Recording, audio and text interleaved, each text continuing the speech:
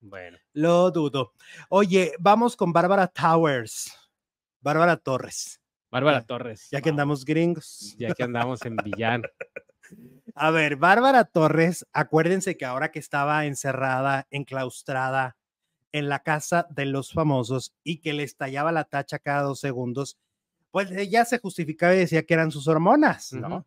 Pero entonces en el programa de televisión de imagen le tumbaron el evento y le dijeron, no, mi ciela, usted ya era así antes de tomar pastillas, porque ah, usted cuando estuvo aquí como directora de, de escena, por así decirlo, Mm, trató muy mal a Talina foro. Fernández, ¿no? Y a muchos de sus compañeros. Luego hubo algunos compañeritos de ella que yo digo, a ver, si tú no fuiste de los que trabajó en Sale el Sol en esa época, yo no me atrevería a defenderla. O sea, si yo no trabajé y vi la convivencia, me parece un atrevimiento desmentir a los que dan otra versión de los hechos, ¿no? Porque tú puedes tener, porque todos tenemos diferentes facetas y diferentes formas de comportarnos con muchas personas. O sea, una persona se puede comportar contigo súper padre y con otra persona puede ser un demonio, ¿sí o no? Claro. Entonces, salir a defender lo que fue, a defenderla, que fue lo que hizo Lorena de la Garza y Gustavo Munguía, que nunca han trabajado en Sale el Sol, pues no, yo no estoy tan de acuerdo. Ellos la defendieron a capa y espada y dijeron que era una santa, que bueno, que nada que ver. Ah, pues ahora los de Sale el Sol ya replicaron. Entonces, Ana María Alvarado, que fue una de las que hace mucho tiempo, no cuando Bárbara estaba en la casa, Ana María lo contó como un año antes. Que Bárbara se había portado mal con Talina Fernández, dice. Ya nos desmintió, de verdad voy a hacer un video ahorita con la gente que sí vio cómo trataba a Talina, porque dice que no es cierto, que eran amigas, que tenían planes juntas de irse a Acapulco con los hijos y que ella le recordaba a su, a su abuelita, que eran íntimas, dice Bárbara Torres. Fíjate nada más la mentira de Bárbara, ¿no? De que era íntima de Talina y que no sé qué, cuando dicen que Talina, cuando fue a Masterchef, cuando se enteró que Bárbara iba a estar, dijo, ni más. Yo aquí mejor huyó que. Ajá. Luego, por otra parte, Joana Vega Biestro dijo, tampoco se vale decir mentiras, porque en el mismo lugar donde dijo esto, Talina dijo que no la quería volver a ver. No se vale decir mentiras. Por otra parte, Gustavo Adolfo también comentó el tema y dijo, el paso de la señora por imagen televisión fue de lo más feo, lo más gris y de lo más gacho que hemos tenido. Generaba un pésimo ambiente laboral. A mí hace años que platicaba yo con un productor con el que trabajé, me decía, porque él era de la vieja guardia, que estaba en desacuerdo que en imagen televisión una de las reglas es el buen ambiente laboral. Ujú. Fíjate nada más, él me decía, yo estoy en desacuerdo porque eh, la televisión se tiene que hacer a mentadas de mamá. Eso decía. Ajá. Ah, Y yo le decía, pero, ¿Pero ¿cómo por, por? qué? ¿Por qué hacer un, ambiente tóxico? Y entonces él me dijo, no, no, no, en, eh, en imagen me decía, son reglas estúpidas, que no sé qué, porque la gente está acostumbrada a que todos sean como Israel Haitovich o como Juan Osorio, que a grito pelado, Carla Estrada, que siempre están gritando.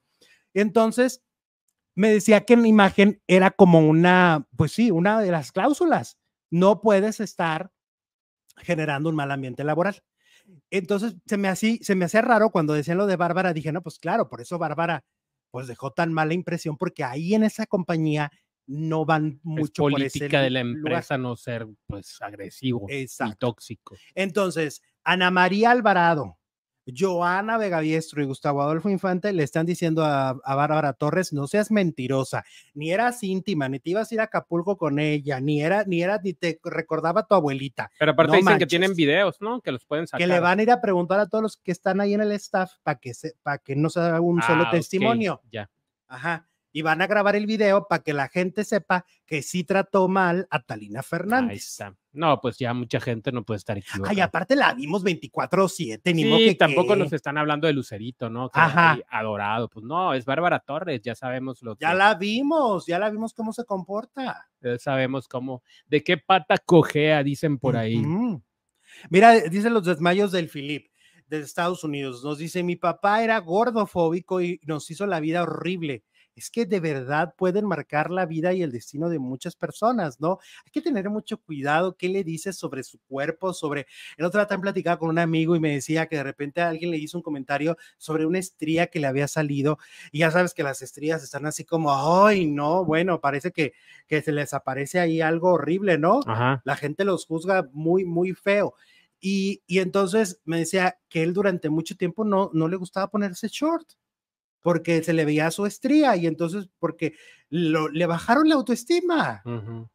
y podía haber un calorón y no se ponía short, ¿no? Eh, Gloria Roth, producer, te invito a almorzar al Paso, Texas. Dice, Claro que mira, sí. Gloria, mira, nomás mira. a ti. Ah, pues por lo que andas diciendo del paso. Nomás a ti Ah, la da- claro que sí, a ti, tú no vas a ir. Ay, ojalá y les haga daño el Taco Bell o lo que vayan a comer. No, taco, eh, voy a comer tacos Al al paso. o que te haga daño el McDonald's. Y Mm. la queso. Muchas gracias, mi Gloria. Saluditos. Claro que sí, vamos a almorzar al paso.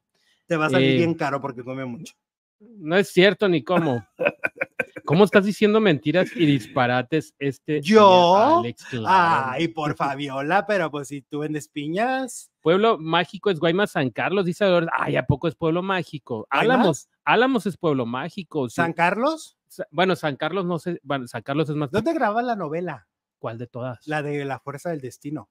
En Álamos y En en, Álamo. San Álamo, sí, Carlos. ¿no? Sí. Álamos sí es pueblo mágico. Ah, y ahorita nos decía And- And- Adriana que, que Metepec sí es pueblo mágico. Ah, Metepec. Sí, sí, claro.